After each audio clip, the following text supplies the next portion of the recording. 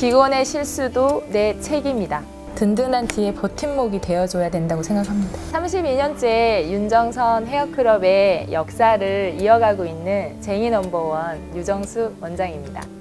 네, 안녕하세요. tung 원장입니다. 오늘은 서울 송파구 마천동에 있는 윤정선 헤어클럽으로 찾아왔습니다. 유정숙 원장님 만나 뵈러 왔는데요. 안녕하세요. 네, 안녕하세요. 네. 미용실을 들어오니까 분위기가 전체적으로 굉장히 클래식한 느낌이에요. 미용실이 몇 년 된 미용실이에요? 윤정선 헤어클럽이 이 동네에서 한 지는 한 32년 정도 됐는데 제가 22년 근무를 하고 저희가 전 아. 대표님한테 어, 인수를 하게 됐고 오랫동안 일했던 임미아 원장님이라고 계시거든요. 네. 둘이 음. 서로 윈윈하면서 이게 운영하고 있는 인턴 생활을 하시고 음. 디자이너 근무를 하시고 네. 그리고 이제 인수하신 지가 이제 4, 5년 정도 되신 네, 거예요. 이제 만 4년째 되는 거죠.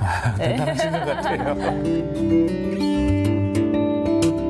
그러면은 먼저 그 대표님 성함을 그대로 사용하고 있네요. 네, 음. 말씀 좀 해주시겠어요? 그리고 윤정선 헤어클럽이라는 타이틀을 간판을 바꾸지 않은 이유는 워낙 오래됐고 여기 주변에 있는 고객분들이 윤정선 헤어클럽을 다 기억하고 계시고 간판이라는 게 이 동네의 역사라고 생각을 하거든요. 계속 이 역사를 이어나가야 된다는 그런 책임감 또한 있었고 인수를 하면서도 윤정선 헤어클럽이라는 간판을 바꾸지 않은 거고요. 미용실에 들어오다 보니까 카운터 앞에 빽빽하게 뭐가 많이 꽂혀 있던데 네. 고객 기록 카드예요? 처음에 저렇게 고객 차트를 쓰지 않는 미용실은 아, 언제 저걸 일일이 다 하고 있냐고 어, 못한다고 이렇게 설- 말씀을 하시는데 저희는 그 처음에 그렇게 힘들고 복잡한 과정을 거쳐서 지금의 차트가 다 완성이 되어 있어서는 너무 편하거든요. 고객님들도 고객 개인 차트가 있는 거에 대해서 되게 뿌듯해 하시고요. 오셔서 이제 내가 언제 파마를 했는지 언제 커트를 했는지 그거 날짜 확인을 해달라고 말씀을 하시면 바로 차트를 펼쳐보면 기록이 다 되어 있어서 수기로 다 기록을 해놓거든요. 그 요구하는 그 스타일링이 다를 때 자세하게 기록을 해놓기 때문에 그런 부분에 있어서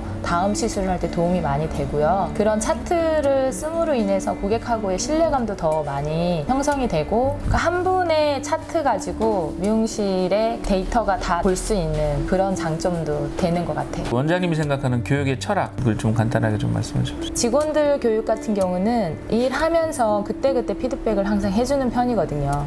그러니까 잘못된 부분이나 자세나 고쳐야 될 부분이나 아니면 잘하고 있는 거에서는 칭찬을 아낌없이 해주고 기술적인 부분도 중요하지만 솔직히 기술은 없이 와서 일을 해도 꾸준하게 반복적으로 하다 보면은 조금씩 늘어가는 부분이 있는데 고객님들한테 이제 인성적으로 다가가야 되는 성량적인 태도 같은 경우는 본인이 고치려고 하지 않으면 안 되는 부분이 있고요. 이제 제가 그런 모습을 잘 보여줘야 된다고 생각을 하고 있어서 제가 하는 행동이나 제가 고객님들한테 하는 태도를 보고 저희 직원들이 보고 배운다고 생각하거든요. 그런 면에 있어서 늘 자만하지 않으려고 노력하고 있습니다. 파트너의 어떤 실수가 발견이 됐어요. 네. 마인딩의 실수라든지 어떤 실수가 발견됐을 때 그거를 갖다가 그 자리에서 나무라거나 꾸짖거나 원장님 다르게 하실 것 같은데 어떻게 하세요? 그런 상황이 왔다. 절대 그러면 안 돼요.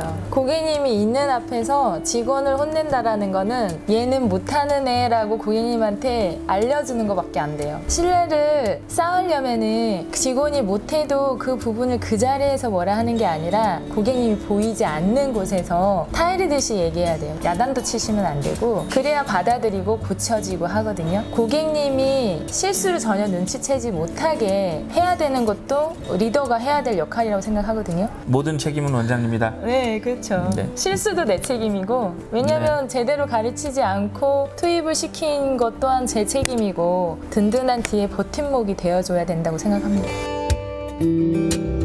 아까 원장님 말씀 중에서도 네. 자기 관리란 말씀을 하셨어요. 네. 원장님이 생각하시는 자기 관리 매일매일 반복되는 거지만 혼자 하고 있는 원장님들이 살짝 놓치고 있는 부분이 그게 아닐까 싶은 게 예약제로 돌리고 있는데 오전에 예약이 없으면 늦게 출근하고 뭐 이렇게 들쑥날쑥한 영업 시간대가 있더라고요. 근데 저는 오픈 시간과 끝나는 시간이 고객하고 약속이라고 생각을 하거든요. 그거만큼은 제가 지키려고 노력을 하고 있는 게 첫 번째 자기 관리라고 생각을 하고 책임을 지는 위치 늘 정해진 약속을 지키겠다. 네, 네. 네. 그게 정말 중요한 것 같아요.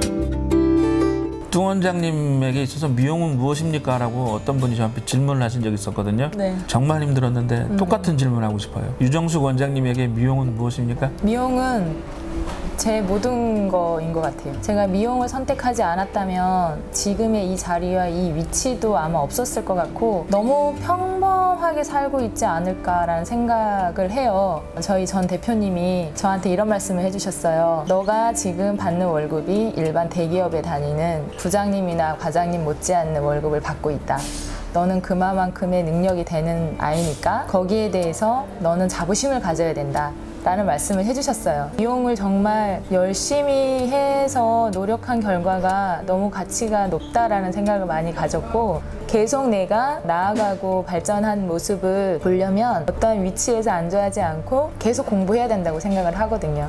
미용 공부뿐만 아니라 많이 배우고 하려는 자세가 필요하다고 생각을 하고 있어요. 음, 마지막으로 굉장히 그러면은 좀 당돌한 질문을 하나 드릴게요. 그걸로 네. 끝낼게요. 지금 인생에 있어서 유정수 원장님 삶에 있어서 미용인에 대한 생각을 말씀해 주셨는데 네. 우리는 어쨌든 간에 테크니션이잖아요. 헤어스타일리스트고요. 네네. 나는 이러한 헤어스타일리스트다.